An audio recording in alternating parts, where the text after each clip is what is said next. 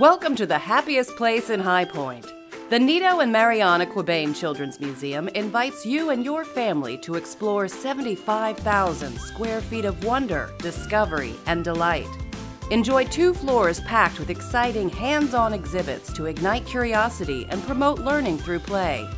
Get ready to build, make believe, splash, explore, and climb as high as you dare. Open Tuesdays through Sundays in downtown High Point. Tickets are on sale now at QubeinChildren'sMuseum.org.